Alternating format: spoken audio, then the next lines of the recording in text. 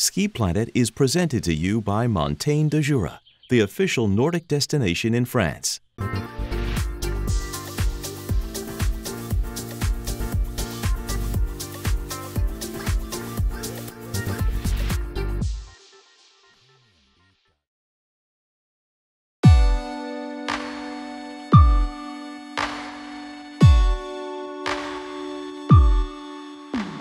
Moi moi! Welcome guys for a new episode of Ski Planet by Worldloppet. I'm back in Scandinavia and more precisely in Finland. Lahti is the front door of the Päijänne National Park, located two hours north from Helsinki, and we will discover what's hiding around the Finlandia Hiihto. Between heart of living, encounters, sport and nature, the program will be tempting, I promise.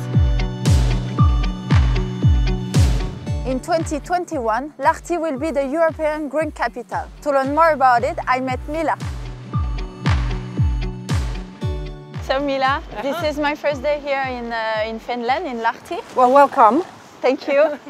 Um, as soon as I, I arrived here, I saw all this nature around the city, and I was wondering if it's one of the reasons that Lahti will be the green capital uh, in 2021. The reason why we actually won the title of the European Green Capital for 2021 is the very sort of bold decisions and also very ambitious decisions that we have done about our city development to be sustainable over the past decades already. And in the beginning of 90s, we decided that the sort of the lake that we had ourselves polluted and that's sort of the first things that we started in the beginning of 90s, very, very, very ambitiously. And at the same time also, we decided that we're gonna start uh, recycling our waste. So those are just two sort of big things that we have done, but also there's very many other things as well that we have done in the city to uh, to be able to get this award. You're a city of actions and sports even, Yeah. especially. Uh, and I was wondering how you involve those events in this project and how people um, who come to see those events can be sensitive, you know, by Yes. this initiative. Uh, well, Lahti is very known for the for the like big sports events that we have been organizing for decades as well, almost 100 years soon, and uh, um, and which is the Salpausselkä World Cup that we do every year. Finlandia Hiihto is very important to us, and very many other sports events as well. And in the in the winter time, of course, but also in the summertime. We have already noticed that um, sort of sustainable winter sports, organizing sustainable winter sports events is something that we have already been taking steps before. And of course, with this European Green Capital, the focus is also going to be more on those in the future. And this is something that also we share with other cities around the world. So you use sports Yes. as ambassadors. Yes, especially as ambassadors, you are so uh-huh. very right. Thank you. Thank you very much. Thank you. Bye. it was impossible to come here in Lahti without meeting Juha, the Worldloppet president, and I hope you guys will not be dizzy.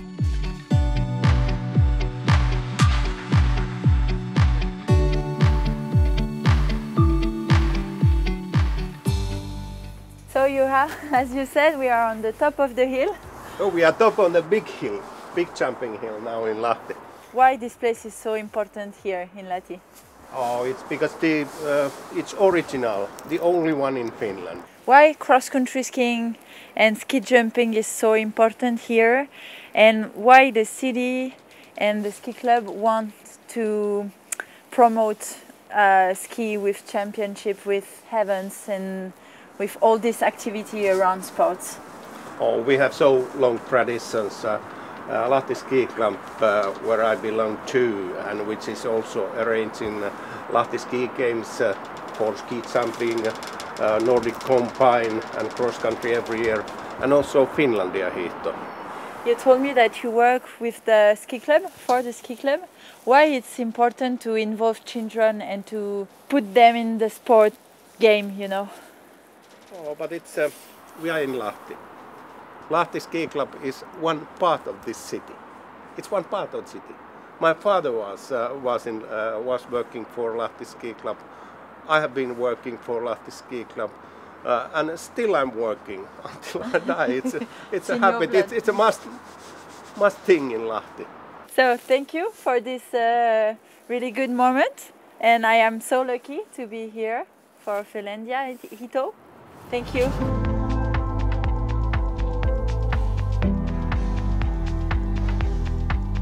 Finland is well known for her cultural attachment to Nordic sports. I made a detour to the ski museum and you will understand that their history is full of success. Thank you for welcoming me here. Um, can you explain me where are we? We are now in the ski museum in Lahti, in Lahti Sports Center. What is the history of this place? There have been, uh, from 1923, Lahti Ski Games. They have started then. And also those World Championships, uh, 1926, 1938, 1958, uh, 1978 and 1989 and 2001 and 2017. And also Finlandia Ski Marathon, they started in 1974. So it's important place in many ways for Finnish people as a center of uh, skiing. Can you show me some things that we can see when we visit this museum? First, you, you can see very long and narrow skis. Uh, in Finland, when they started to have skiing competitions in the end of uh, 19th century, they were very long and made of birch, and uh, they have flat country skiing competitions on the ice and on the fields. And, uh, and here we can see uh, some photos how they started, and, and, and this uh, photo from 1926. And here you can see the same character also Yes. as, as, as a, I will try to make some activities. Yes. Thank you very much for, for the visit.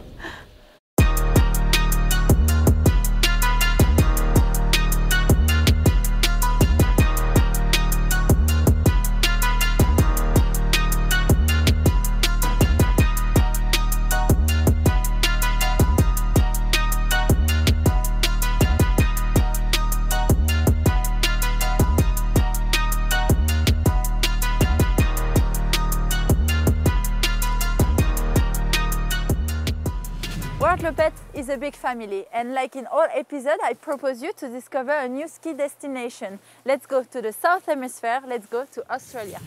Oh, look, today is just absolutely unreal. It's one of the best days we can remember, and to make it really, really good, the technical delegates just skied Sundally, and he tells me that the course is as good as he's ever seen in Australia. And it's a real tribute to the volunteers and the hard-working people in the Mount Beauty and Falls Creek and the general cross-country skiing community all together work together to make this uh, the showpiece of not only Australian but Southern Hemisphere cross-country skiing.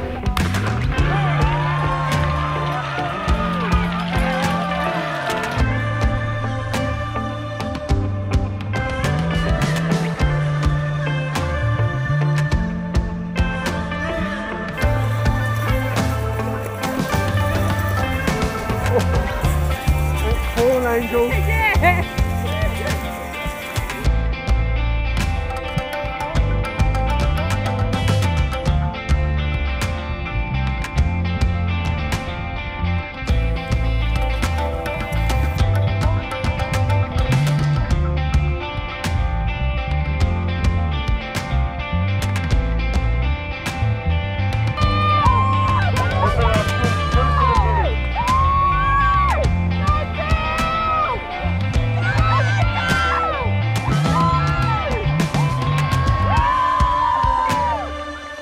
don't know. I think, uh, yeah, it was pretty close. Just came down to who wanted it more. So.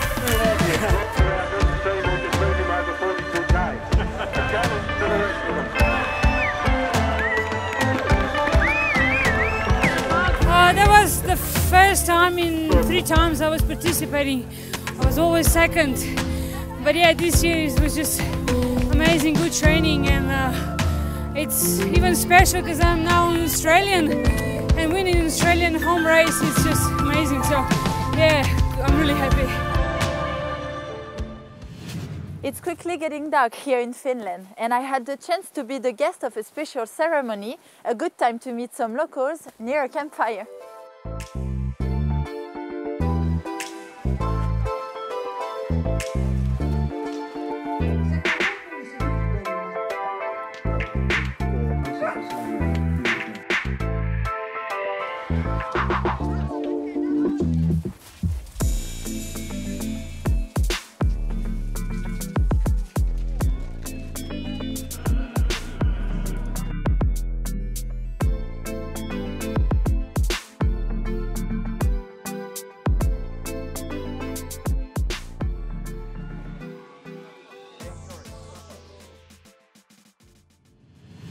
Guys, if I tell you relax, hot and cold and well-being, what do you think?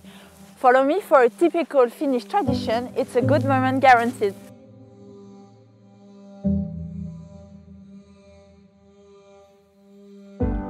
In, in Finland there is like uh, more saunas than people.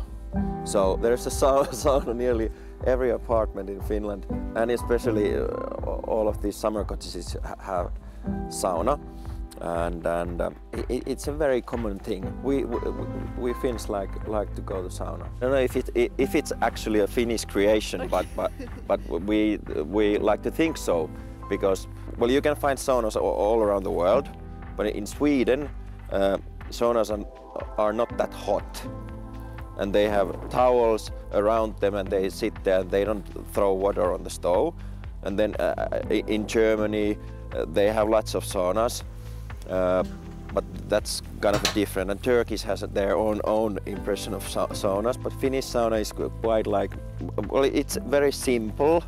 Uh, you you throw water on the stove and it, it, needs to be hot. Some someone likes it to be like over 100 uh, degrees Celsius uh, or or something. I, I like it that it should be like 70 or 80. Then it's then it's good and moist. Non, mais là, c'est de la glace, glace, glace. Hein. Oh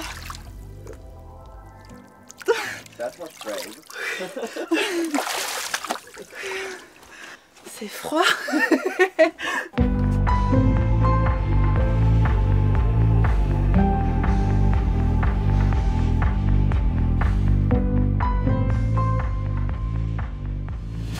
As you know, all our travels are headed by a Worldloppet race. It's time to ski, so let's go to the Finlandia Hiihto.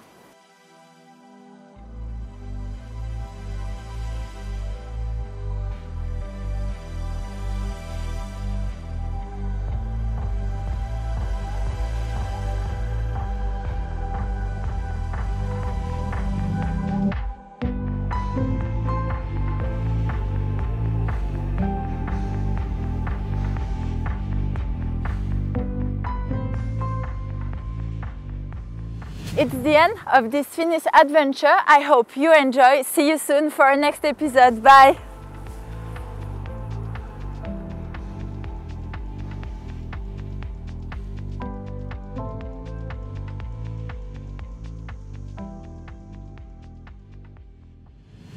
Ski Planet was presented to you by Montagnes du Jura, the official Nordic destination in France.